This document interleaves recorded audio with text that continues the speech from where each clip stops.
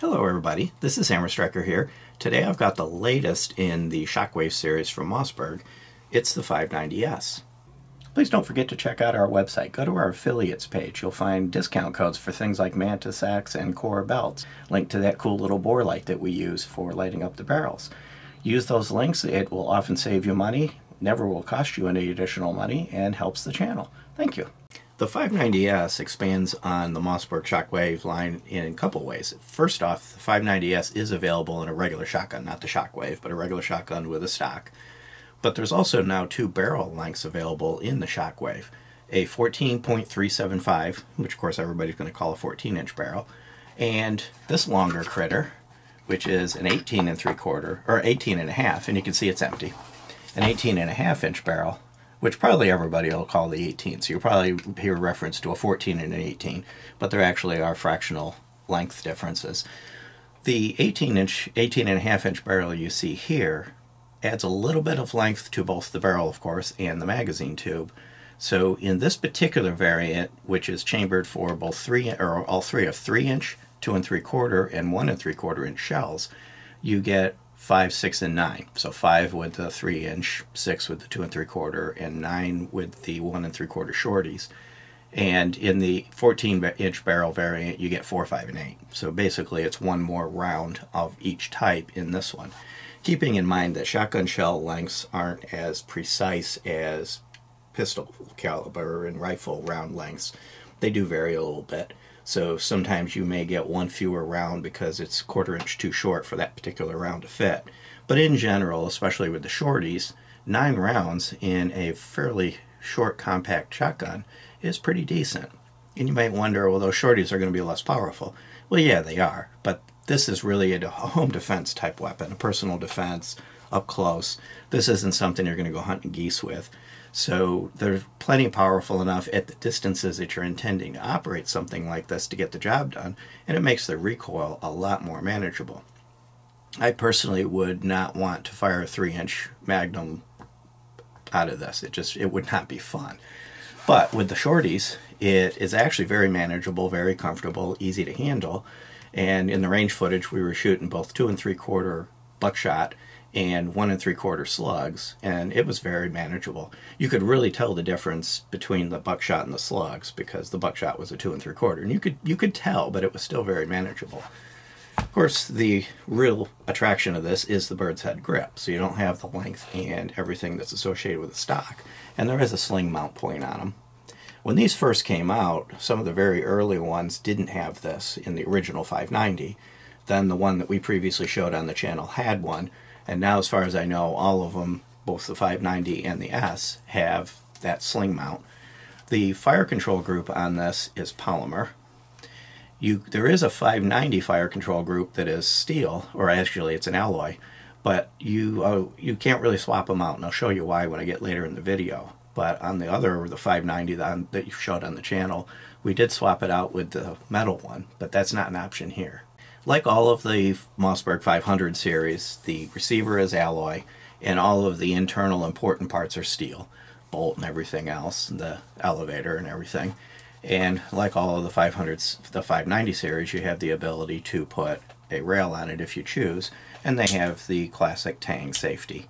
These work really well, they're ambidextrous, they're easy to work with, a lot easier than like the bolt style that you see on a lot of other things. Big disadvantage to this type of safety on a gun like this one is it can be a little bitey. So when you're grabbing hold of this, if your hand kind of slides up, it's easy to get kind of bit by the edge of this. That's fairly easy to fix. Uh, Talon grip, which we put on the other one, which was a custom wrap we made out of a Talon bulk wrap, they now make a custom wrap for this. And it gives you a little more grip on it, kind of keeps your hand up away from the safety. And also with the one and three quarters, even with the smoother grip, it's easier to keep hold of it. So it's kind of a less of an issue at that point. You can put a rail on it, put a laser or a light, whatever you see fit. It does have a bead sight all the way at the front, and that bead sight allows you to sight, but there's nothing at the rear to sight with. And this, you could even see from the range footage, is very cumbersome to try to use the sights. Now you will notice that the form that I was using when I was shooting at the range was suboptimal. Well, it's it's an indoor range and they have rules related to hip shooting. I did do a little hip shooting at the very beginning, but it that hip shooting was not very accurate. So a, a, laser of some sort might be very useful on this gun, even though it is a shotgun, simply because you're typically not going to shoot this like you would a regular shotgun up where you're sighting down the barrel up to the bead. You're going to be kind of just picking this thing up, aiming it in a direction, and even at short ranges, that's not very accurate. So it does have what they call a corncob grip. It's got some serrations on it to get a hold of, and this strap. And this strap's kind of important, especially on the 14-inch variant, because you know the 14-inch variant, the barrel's ending about here. It would be very easy when you go forward to have your finger up in front of the barrel. So don't take the strap off. You know, it kind of looks weird, but it is well done, and it does keep your hand from getting up past the slide and up into potentially where the business end of this thing is. On the shorter version, this will be kind of truncated about here. So what's different with an S? So this one is unloaded, of course. So I'm going to go ahead and close it. Close both of them. And a couple of things you'll see. One, the tongue on the elevator is shorter on the original one, longer on this one. You can see that kind of sticks further up into the bolt. So what I'm referring to is this part right here. Notice it's much longer. What would happen on the original one without the adapter is the shell would get behind that and to basically fall out and either fall out or get hung up in the action. This prevents that from occurring. The other thing that you'll see that's different is on the front of the trigger, there's this little bumper. This is both a recoil buffer as well as kind of also in guiding the shell into place. And according to Mossberg, there's also some changes to the bolt slide. So converting a 590 to a 590S currently is not an option.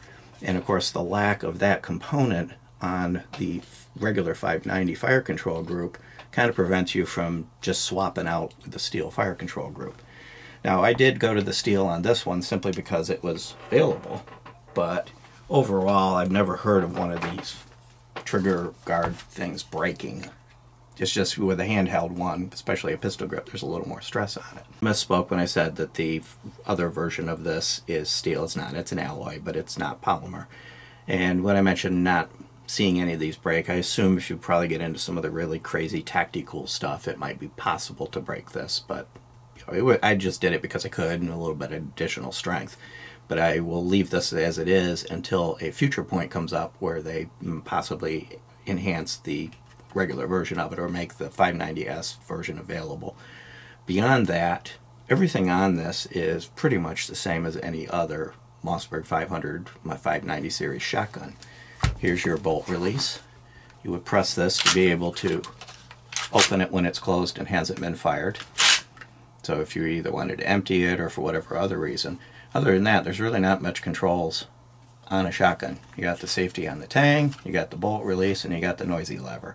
Beyond that, really they're fairly simple and straightforward. The overall length is 26 or more inches on these, so they're not super, super small, but when you eliminate the stock, it does make it a little bit more easily moved around for, for a home defense scenario. You don't have that extra foot or so sticking out. And they weigh a little over five pounds, depending on which barrel version you get of it. The longer barrel, of course, is going to be a little bit heavier, but they're right in the five pound territory. They're very manageable, and especially with the shorties, they manage recoil quite, quite well. One of the things I didn't mention when I was talking about why you might want a laser, and yes, you can use this bead sight because you could bring it up to your face, but I, when I was shooting this with the sight, and I had it up where I could actually use the sight, one of the things I was very focused on is that not meeting my face. In a self-defense scenario, of course, you're going to be more focused on what's going on in front of you, and it is possible that if you're not just doing it just right to get hit in the face with the business end of this, which is where a laser and not necessarily having to line it up in front of your face is really optimal. These have an MSRP of 643, so they're reasonably priced. And, and of course, Mossberg recently, well not so recently, you know, getting into the pistol realm and really doing a good job of it, you could actually now have your entire defensive suite be Mossberg. This MT, MC2C, depending on which version of it you get, you can get up to 16 rounds in the extended mag. So you got a pistol, and you can have up to nine rounds, depending on which ammo you use, in a shotgun. So it's possible your nightstand, your concealed carry, your everything else can now be Mossberg.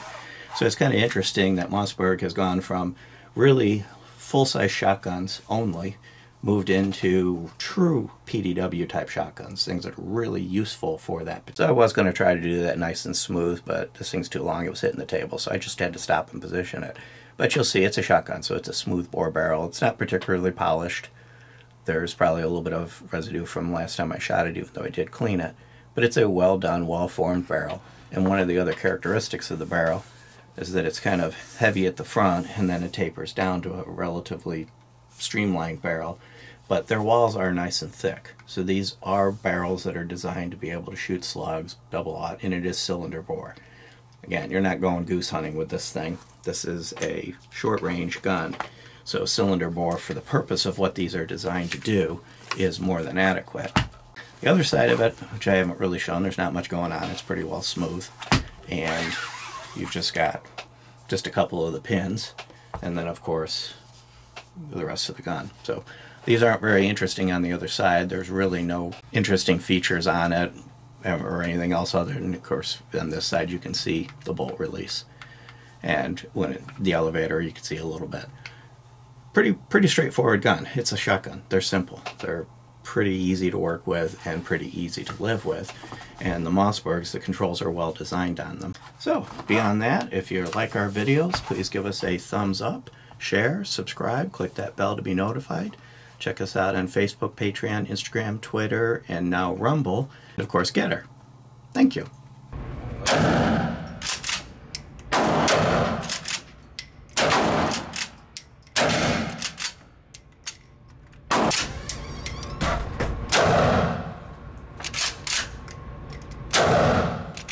I can't do it. It's opposite. Let it go. One shot.